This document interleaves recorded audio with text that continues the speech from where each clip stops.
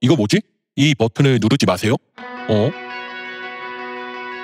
너무나 궁금함 누를까 말까? 하지 말라면 더 하는 게 인간의 심리다. 누를까 말까 부술까 봉이 날까? 땅에다가 묻을까? 한번 생각을 해보자고. 별일이 있겠어. 아무리 심해봤자 집이 폭발되거나 내가 조져지거나 포켓몬이 되거나 키가 작아지거나. 그중 하나겠지? 별일이 있겠어. 아무리 심해봤자 고구마가 되거나 감자가 되거나 그림체가 바뀌거나 멍멍이가 되거나. 그 정도겠지. 어떤 결과 가져 거는 게 맞는 선택일까? 왼손으로도 왼발 아니 대가리로 누를까? 눌렀다가 조져지면 나를 기억해줘. 엥? 이게 뭐지?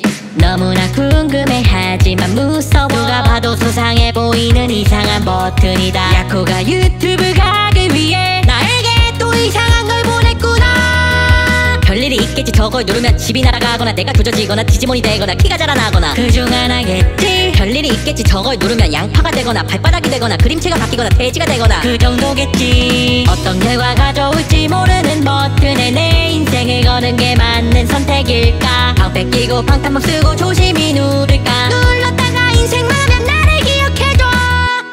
띡띡.